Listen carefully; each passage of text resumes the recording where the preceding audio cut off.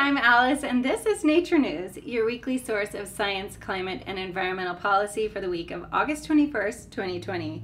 Now, today we have a lot of animal talk, so if you love animals, make sure you hit that like button. But first, I wanted to start with the Japanese town of Kamikatsu.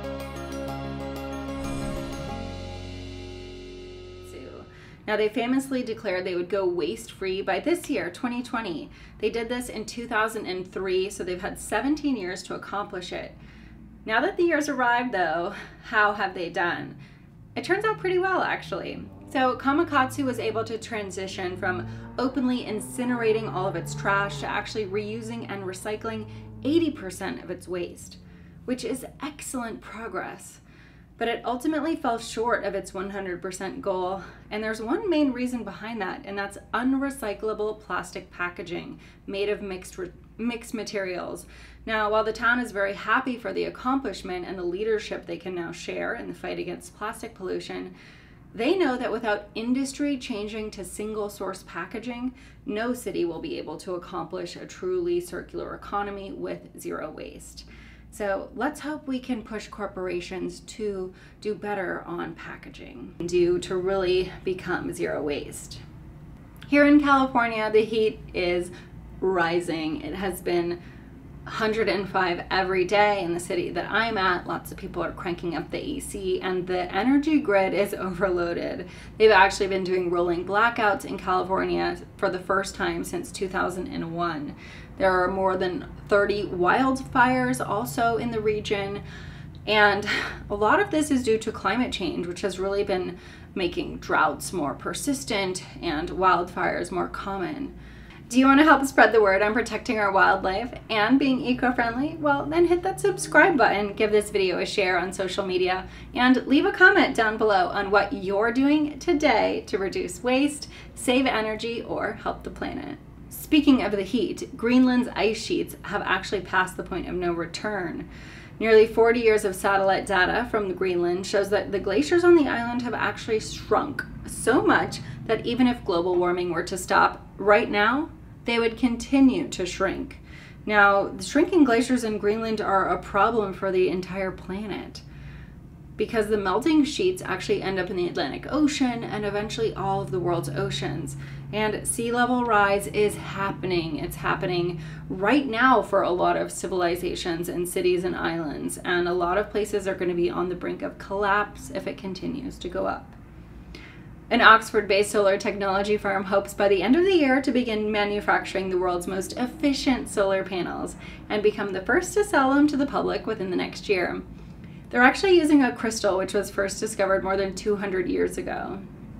Oxford PV claims that the next generation solar panels will be able to generate almost a third more electricity than traditional silicon based solar panels by coating the panels with this thin layer of crystals. I do have an update for you on the Mauritius oil spill, which I talked about last week. Now, on August 15th, the ship actually broke in two, spilling a bit more oil into the sea. Luckily, there were booms in place, and most of the oil had already been pumped off the ship. But the government has now arrested the captain of that ship, and they are currently investigating why this ship was actually so close to shore, as it's supposed to remain more than 10 miles from the island. There's also been a lot of ghost ships. Now, I'm not talking about the name of a movie. These are actually what marine researchers have called the boats that have actually washed up on shore in Japan with corpses of North Korean fishermen. Now, it stumped them for a long time, but they've but they now know that it's actually the result of illegal Chinese vessels that have been pillaging the ocean of fish stock all over the world. Now, over the last few weeks, many have voiced concern about their appearance in the Galapagos, but it now appears that they've been depleting the oceans around North Korea of squid as well. Another place that they're actually not allowed to fish under a UN sanction. But who is actually going to police the Chinese fishing vessels? I don't know. And reports say there's actually somewhere between 200 and 800,000 of these vessels around the world, which is a huge number and a huge difference of numbers. They think there's about 10,000 of these boats in international waters that are actually catching fish, whale, and shark, usually illegally.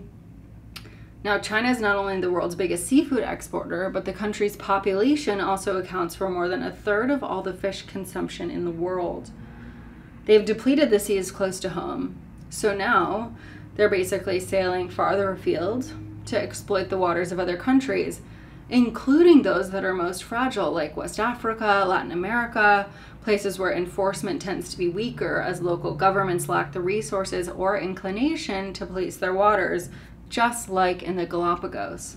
Now, most Chinese distant water ships are so large that they scoop up as many fish in, in one week as local boats from Senegal or Mexico might catch in a year. That's pretty terrible. Pacific walruses are again gathering much earlier than usual at Alaska's Chukchi beach sites. Now, the walruses that summer in this area, mostly females and their calves, have evolved to use floating ice as platforms for food foraging, resting, and rearing their young.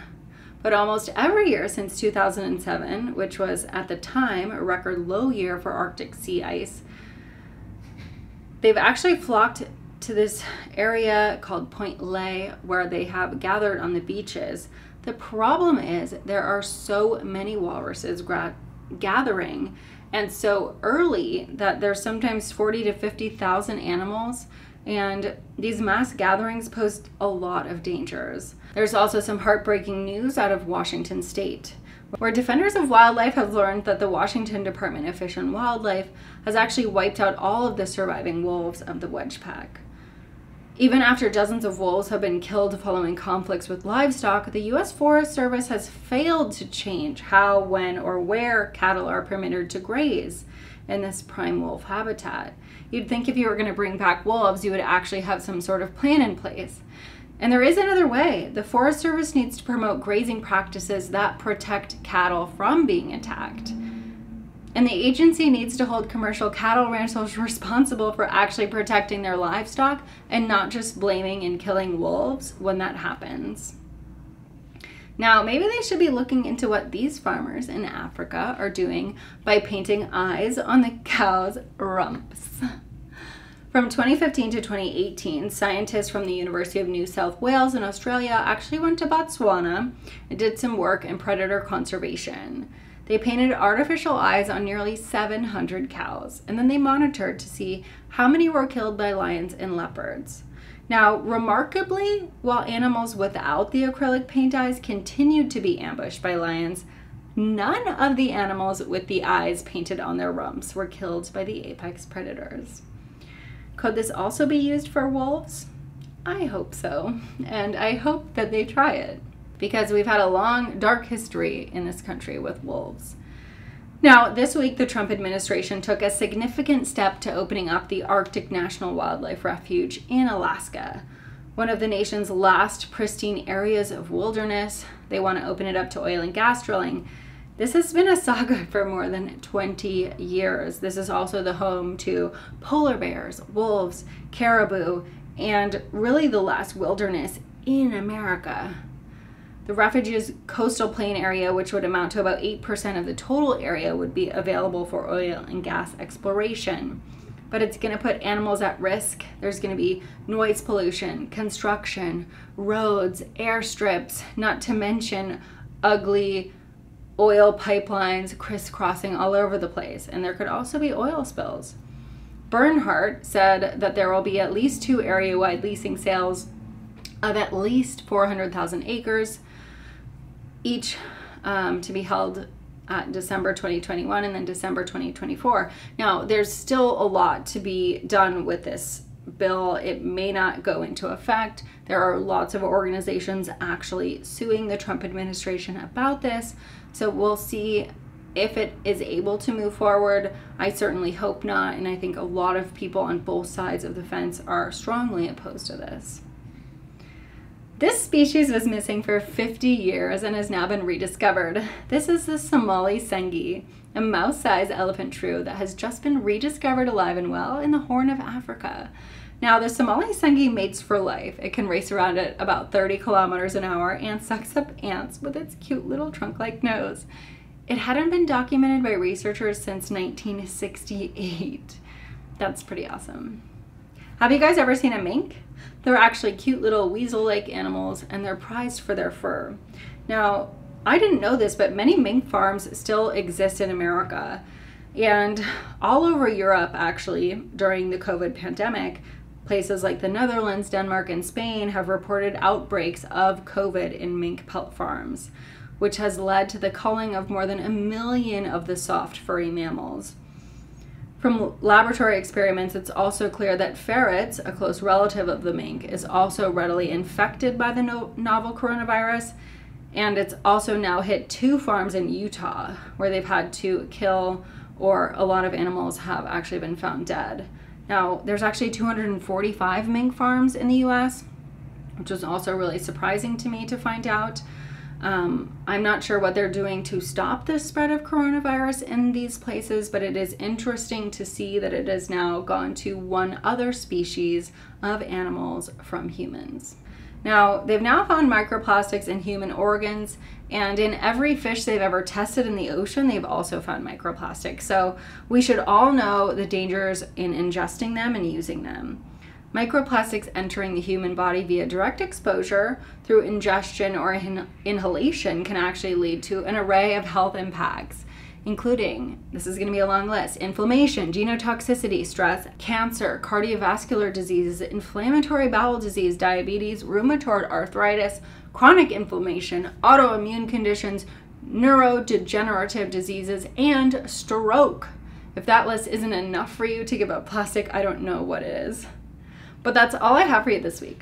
If you need some tips on how to reduce plastic waste in your home, you can check out some of my other great videos on going plastic free. And please help spread this message and protect our wildlife by sharing this video with a friend, leaving a comment, and hitting that like button and that subscribe button. I will see you next week.